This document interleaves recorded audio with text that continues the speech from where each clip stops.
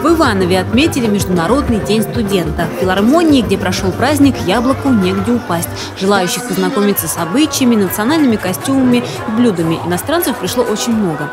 Студенты из Вьетнама предлагали отведать рисовые чипсы, салат и национальное блюдо нэм. Это как, как ролл, вьетнамский ролл, вот.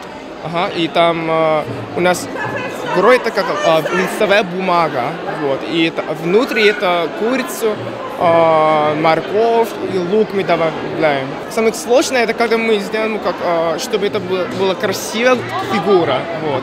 А, а остальное это все нормально, не очень трудно.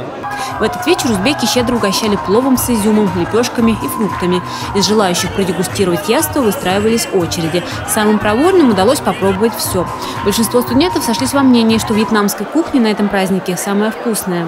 Она такая необычная, там рулетики с овощами, с каким-то мясом и чипсы с соусом. Довольно необычный вкус тоже.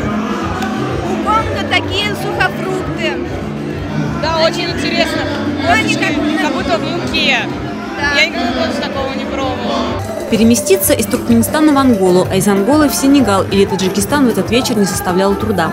Благодаря танцевальным мастер-классам на какое-то время показалось, что границы между государствами и национальностями стерлись.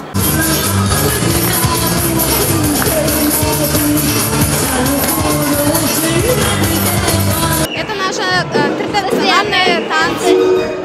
Очень мы любим наши танцы. Поздравляем всем туркменам и желаем счастья, крепкого здоровья. Международный день студента отмечается в Иванове регулярно. В нашей области обучаются почти полторы тысячи иностранных студентов из Европы, Азии, Африки и стран ближнего зарубежья. На этот раз праздник действительно оказался веселым и шумным, как и сами студенты. Любовь Почерникова, Денис Денисов, РТВ Иваново.